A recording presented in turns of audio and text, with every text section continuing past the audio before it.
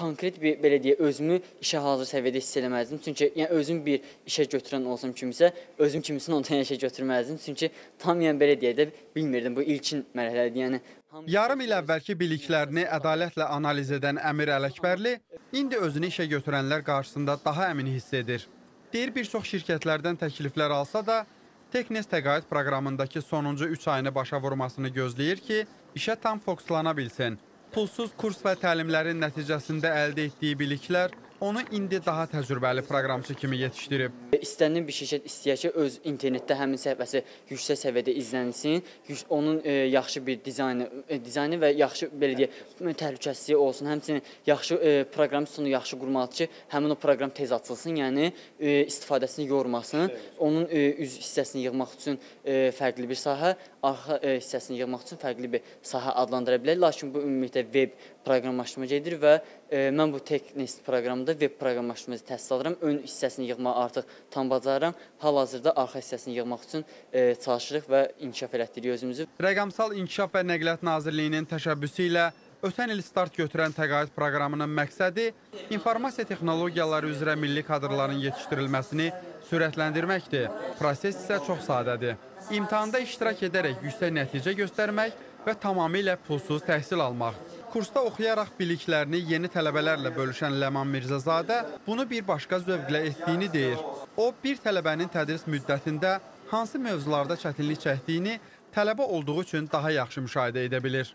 Həmişə problem ilk mərhələdə olur, e, fundamentals mərhələsində olur. Alqoritmik məsələlərin həllində tələbələr e, çətinlik çəkirlər. Məsələn, e, responsivlik, yəni həm telefonlarda, planşetlərdə və notebooklarda görüntünün mü- müxtəlif cür olması üçün müəyyən kodlar yazırıq və tələbələrin ən çox çətinlik çəkdiyi hissə budur. Yəni anlamırlar ki, o hissənin kodu necə olmalıdır və müəyyən vaxt sərf eləyirlər. Müəyyən bir müddətdən sonra, üstünə çalışdıqdan sonra artıq e, tələbələr uğurla həyata keçirirlər bu kodları.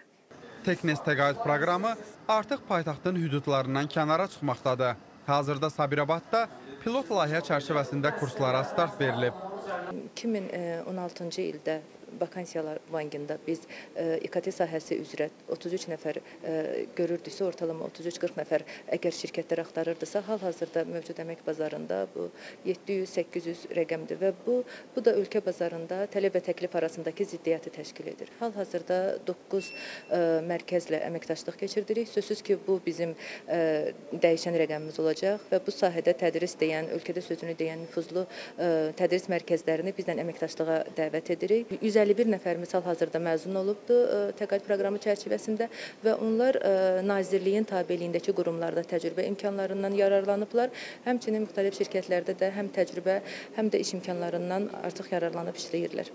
Qeyd edək ki, cari ilin sonuna qədər Teknes təqaüd proqramı çərçivəsində 120 məktəbli, 1500 tələbə və məzunun bulud həlləri, bulud inzibatçılığı, böyük verilənlər bazası, kiber təhlükəsizlik, avtomatika, elektronika, fərqli proqramlaşdırma dilləri kimi müxtəlif ixtisaslar üzrə təhsil alması nəzərdə tutulub. Elgiz Nəbili, Zaur Ağamir, İTV Xəbər.